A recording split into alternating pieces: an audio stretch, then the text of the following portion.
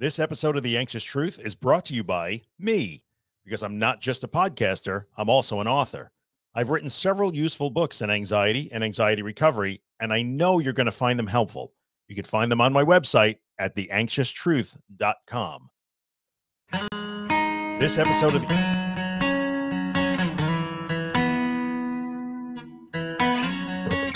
Hey, what up, everybody? Welcome back to The Anxious Truth. This is episode number 182. Welcome back to the program. Welcome back to the show. I am Drew Linsalata, creator and host of this fine podcast, or what I, excuse me, what I hope you will think is a fine podcast.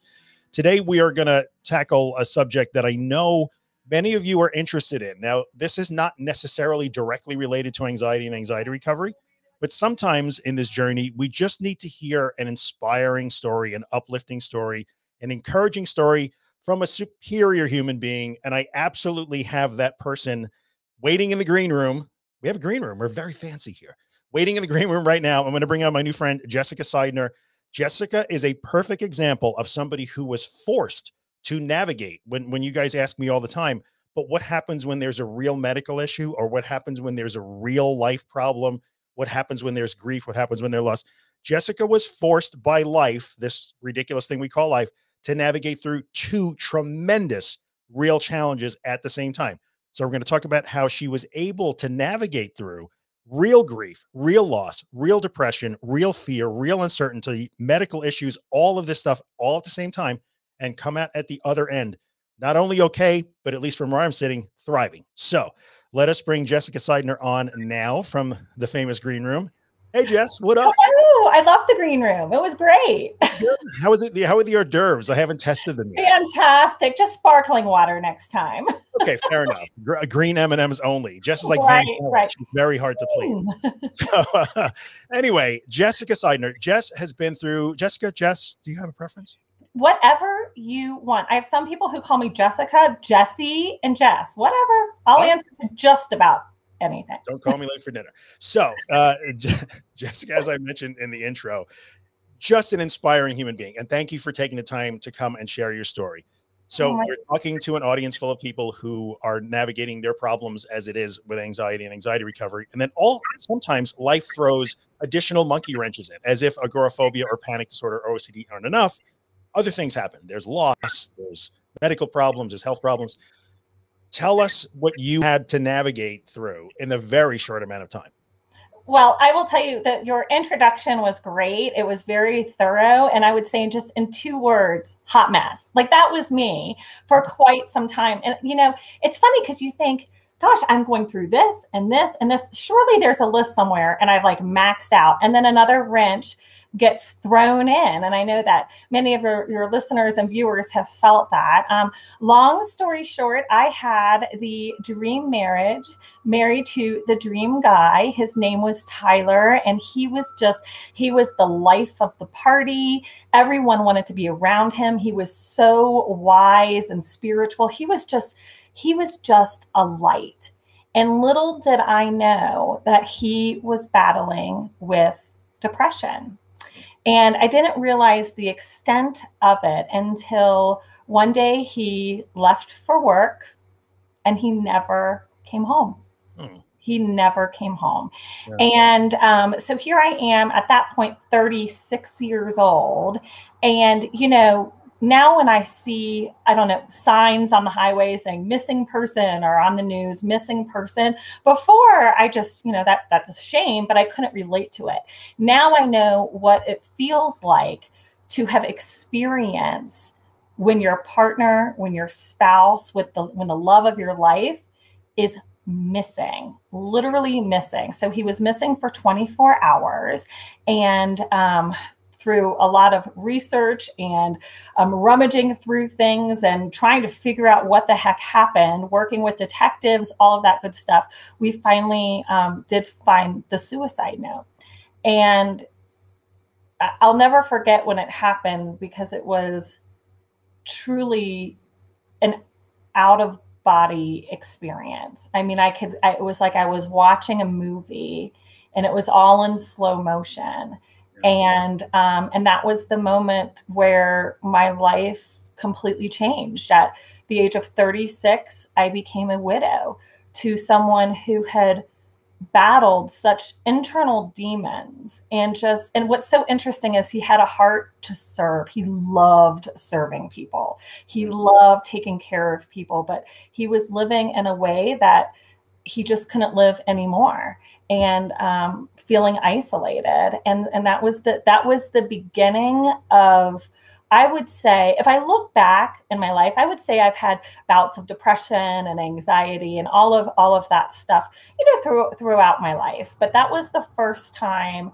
that uh, I mean, my life was changed, and really, I was kind of out of body um, for months after his his death. Yeah. And so yeah, it it was just in a, in a snapshot, right? Like it just was that quick yeah. everything changed. So you are instantaneously immersed in this pit of loss and grief and so many different emotions. I cannot even imagine how many, oh, you know, we have the capability of experiencing such a tremendous broad range of emotion. I got to believe an event like that makes you experience almost all of them.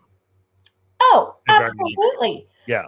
All of them at once, including, I mean, you go through, you know, I think when they describe the grief cycle, it's like this, like, really nice circular thing you know like like it's like you start here and then you go here and then you go here they don't necessarily say it goes like this and then this and then up and down i mean it is nuts to the degree of i, I i'm going to share a story of how i mean obviously i went through all the stages of grief over and over again i still do that right but i I, I was trying to get a hold, this was like 24 hours or 48 hours after he died, maybe even a week. I was trying to get a hold of my family who were kind of all on call. So I called, you know, I called my mom, she didn't answer her phone. I called my sisters, they didn't answer their phone. I called my dad, they didn't answer their phone. I called, I mean, I called everyone and they just didn't answer. And I literally had it in my head. And I don't know why that something horrific had happened to my father and they were going to they were not answering because they did not know how to tell me. So your brain just your brain just does so many tricky things and yet it does beautiful things too yeah. to protect you and to get you through um, through those times. I mean for years i would wake up every morning and i would think that was the worst nightmare of my life and then i would realize it wasn't. it wasn't a nightmare. It yeah. it's my life. And how do i keep going? Yeah. So so much of this and you know it's interesting how you say you had that thought that something and i'm sure it felt very real. Something happened to your dad and they weren't going to tell you because they felt they couldn't you couldn't handle it. And when we are under duress you know we become a little less resilient and those sort of thoughts are more likely to pop up and be mm-hmm. sticky and be really powerful. So i'm sure you move through a lot of that stuff did you find as you're confronting this this tidal wave, an unrelenting churning, like you're you're basically in a food processor of emotions at that point. I like how you say it's not the nice little diagram, the grief cycle. It's literally like it's it's a food processor. You're just it is a food processor. It makes like mush. Yeah. as you were, so now you're navigating through some of the heaviest emotions that a human being can can experience, of course, and they're coming at you in rapid succession. And so much of my audience is so many people in the audience are concerned with big emotions. They are afraid of them. They can't, they think they're going to be too much. When did you ever find that you're, you felt like that's it, it's too much? You must have had those moments and what got you through those moments? Gosh, good question. You know, I've had I've had so many of those moments. Um, the biggest one being, and we'll talk about it in a few minutes, but my breast cancer diagnosis that came six months later. Like literally, I thought I was going to like pound my head against like something like brain matter was going to fly because yeah. i just could not believe what shitty luck i had. I just yeah. couldn't believe it. And yeah so those moments um, they come in waves. They're not predictable. Um, but what i also would say is people are stronger than they realize that they are right? So you you may not think right now that you're strong enough to deal with X, Y, and Z. And when things happen, because unfortunately, like you said, life just happens to all of us. It just it just is the way it is. Um, it, it's interesting because you realize in those moments, like, I can do this. You've got that like internal grit, that determination that comes out, right? And I would say, first of all, it's really about taking the baby steps. It's all about moving forward honoring the past, honoring where you are, but taking baby steps forward. So, you know, um, I, I would, and I found this to be helpful. Of course, I love therapy, and I have gone since um, the day after essentially Tyler died. And one of the things that I've learned that's really helpful, even today, because I think, first of all, I would say grief takes all shapes and forms. So you could have grief related to a loss, um, a, a, loved one that you've lost, who you've lost. You could have grief because you've had COVID, and now maybe you have some like residual effects. You could be grieving because you're an empty nester. You could be grieving because um, your your mental and your physical and or your physical health is not the same and it's not as stable. Grief takes tons and tons of forms and it lasts a long time. It just evolves differently, and in many ways, it can be hard, but it can also feel good if you let it feel good, like give you a passion to do good. Right. Um, but one of the things that I still do because I'm still grieving and I still have triggers and I still have weird things that, you know, I know come from that trauma is do kind of a morning self assessment right? Whether it's while you're drinking your coffee or if you're doing meditation, like, how am I today emotionally, physically, mentally, spiritually. And if you're feeling like a shit show, adjust your calendar to reflect I'm not in the mood. I need to do some self care today. That's my priority. And I've got people in my life who either understand it or who don't understand it. And if they don't understand it, maybe they don't need to be in your life. Let's so that's like a couple tips. Yeah, which are really good tips. The baby step tip is is spectacular. It's really good, and it's something we talk about in my community all the time. Every little step mm-hmm. matters, right? So, yes. I want to talk about two things there, and then I want to move on to the second half of this like horror show, uh, which you've already you know mentioned, and we'll get into that. So, baby steps so important. I want to talk about the lessons that you were able to learn really from day to day. Like, so we could talk about look back at, at the macro level, at the large level, and say, "Oh, this is what I learned, and this is I found my strength, and I and I turned it loss into this." And but day to day, one of the things we talked about in the community all the time is you are proof every day. So when you wake up on Tuesday and it is you feel like you just cannot do this day, I cannot do this anymore. It's overwhelming you can look back at Monday and say, well, I felt that way yesterday too, but I did Monday. Did you ever, did that ever dawn on you? The lessons that you took from day to day to day? Like I made it through a day, so I guess I can make it through another one. Absolutely. Absolutely. Because you have to be able to look back and reflect on those. I'm going to use the word achievements, which usually coincides with coincides with something large right? But mm-hmm. achievements can be small. Yeah. and you do you do look back the day before and you kind of it's like a building block right? It's sort of a, a mixture between i did it once i can do it again. I you know even if it was a small achievement i was able to do it. And then the next day it it kind of like i know this sounds really wild but I would be like lying in bed, and of course, I'd go through this. This is a nightmare. No, this nightmare is my life. And I would think, okay, swing my legs around and stand up. okay. You know, like I would, it would be that, it would be that intentional. Yeah. But also recognizing and being okay. I mean, I think with the fact, because I'm kind of a go getter and a busybody, that what was most productive during that time frame was to swing my legs over and take that over my bed and take that first step and then maybe do some meditation right. and maybe make coffee and maybe that's all i could do that yeah. day but that counts. okay. It counted. It's funny because you said like, you know, sometimes you'll have to decide, well, today self-care is one of those, it's a little bit of a hot button in the community that I'm serving because yep.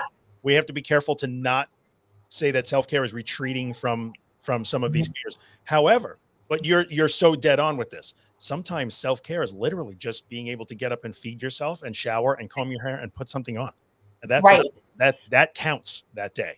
It is it, it is so true because what I think and I agree I think self-care can be um, kind of obnoxiously used, right? You kind of sometimes think, "Oh, it's like a spa day or a retreat." right, um, right. Sometimes what what I have um, you know, my life now, five years later, so much of it is rooted in serving and caring for others, which I feel like is a great way to honor Tyler because that's how he was. Mm-hmm. But that's my form of self care is actually getting out starting the conversations, talking about suicide, talking about depression, talking about my own anxiety and my own struggles, talking about breast cancer, talking about the things that people don't want to talk talk about for whatever reason can be very um, can like warm my heart and warm my soul, and it almost gives purpose to what I went through. Yeah, excellent. So there you go. It's sometimes it's just day to day and learning the lesson of, hey, look, I got up and I can get up again and the yeah. small things. Yeah. Let's let's talk about part two of the horror show. So yeah, the horror show. Six months later, boom, you have another bombshell.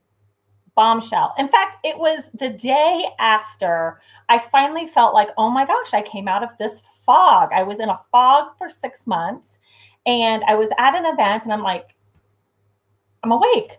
I'm awake. I'm starting to feel things. I'm seeing things again. And it was a really great feeling.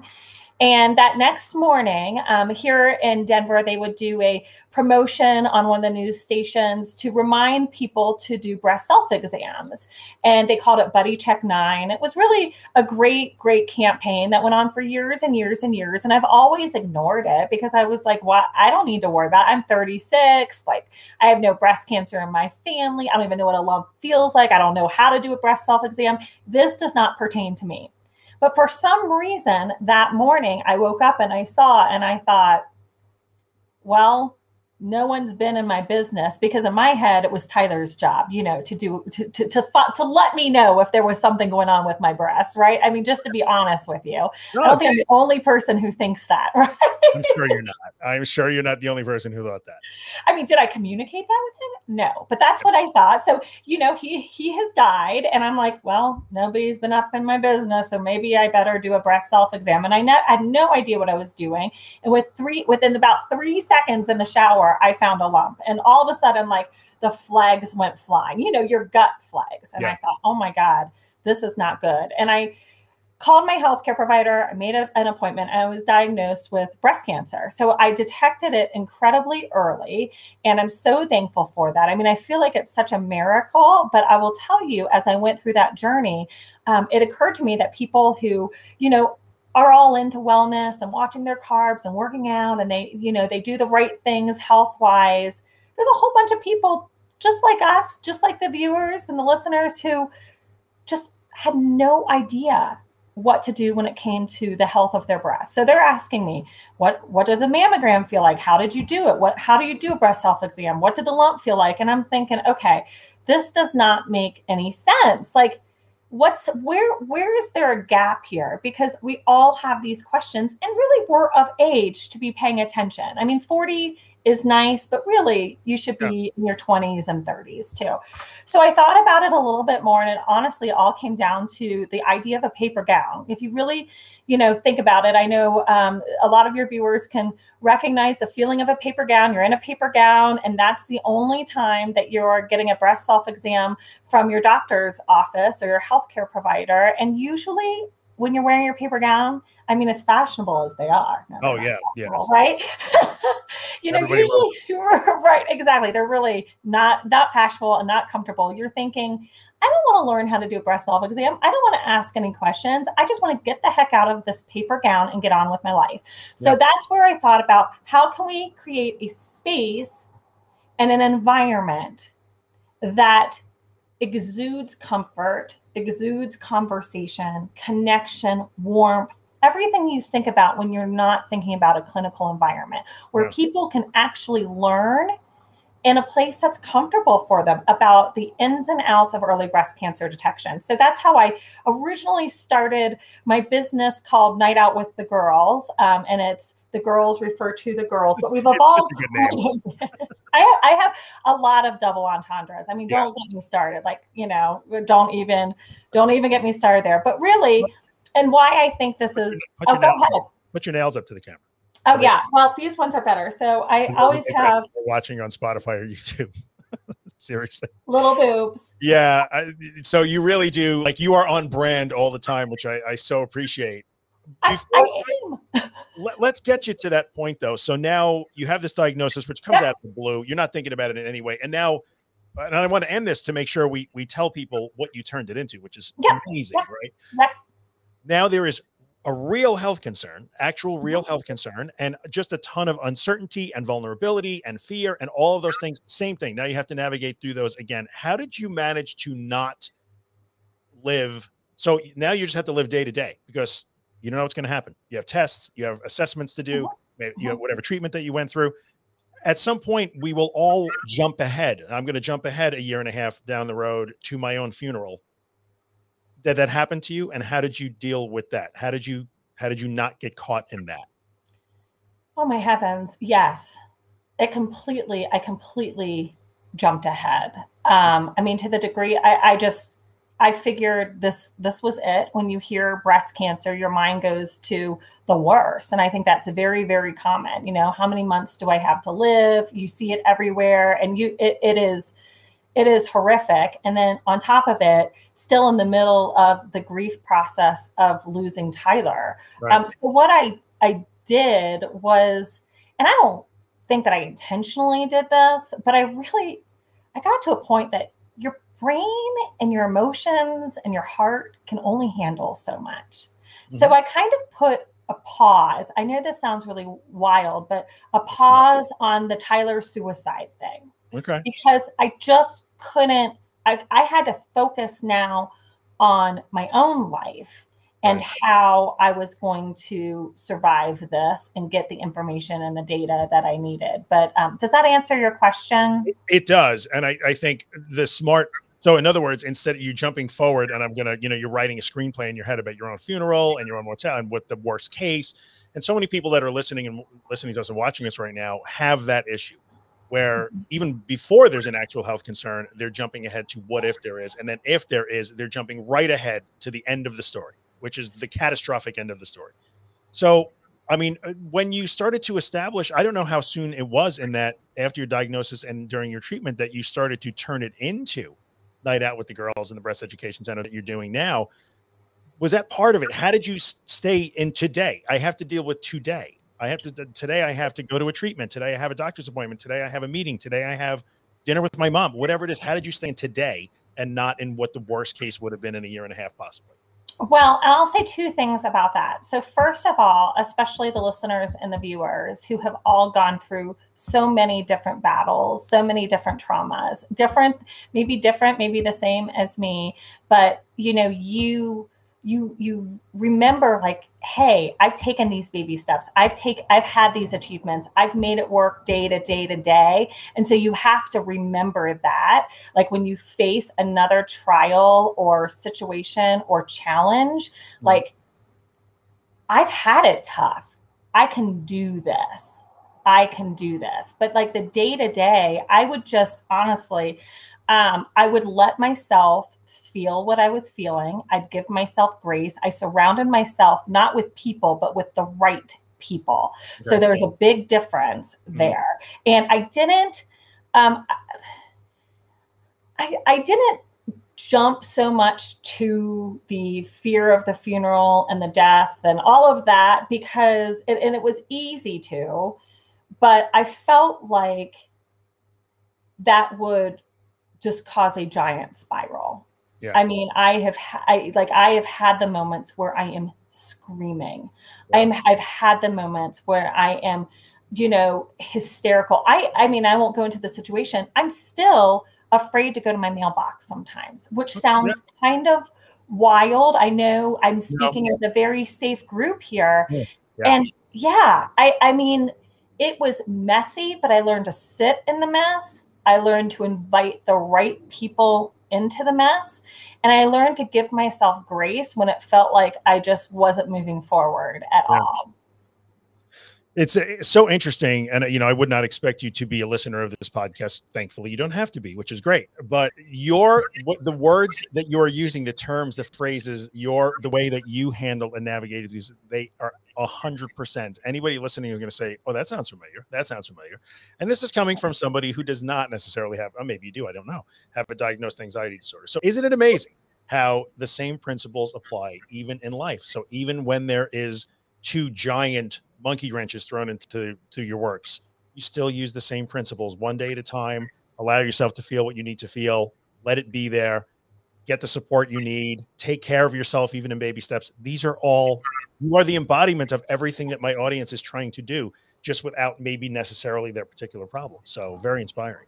Well, I love that. And it's really, you know, in talking, engaging in this podcast, podcast, engaging with your community, I think bringing the ick to light, bringing the ickiness, yeah. the, the nastiness, the hot messness of your life to light, I think it, that's just one simple thing that, that we can all do to feel more connected and less isolated. So conversations with friends and family, and you know, you know who those people are. We, we in the breast world, we call them your breast buddy. you are just full of these. Let's. so the moral of the story here in the end is not only are we able to navigate through the most difficult of times, right? You've always you've gotten through every challenge you've ever faced. If you're listening, you have actually gotten through every challenge you've ever faced. So but not only can we just be okay, in in Jessica's case, you could even I'm going to say from where I sit as, as as a friend of yours, like better than okay. So let's talk about what you turned this into because it's tremendous. Go ahead, let's hear it. What did you okay, make? Okay, okay. Well, I, yes, it can be okay. I will just reiterate that. And yes, it seems like I'm all about breasts because I am. I mean, they're on my nails. I carry a fake one around. Don't it just I'm yeah, all about Somebody the breasts. has to be around that. About, but at the end of the day, it, everything that I do is really centered about uh, around one concept which i really think that the audience will it will resonate with them is yeah. i believe that if we can increase connection between each other about that stuff that is icky right if we can in, increase connection we are going to decrease those feelings of isolation, which mm. we all know can be debilitating and paralyzing and shaming and guilt filled, which we don't want. So, if we can increase the connection between people, we decrease the feelings of isolation. And at the end of the day, we increase the action we need to take, whether big or small, um, yeah. taking those mental health um, baby steps or going as far as getting a, a, a, breast mammogram if something doesn't seem right. So conceptually, that's what I'm all about. So yeah.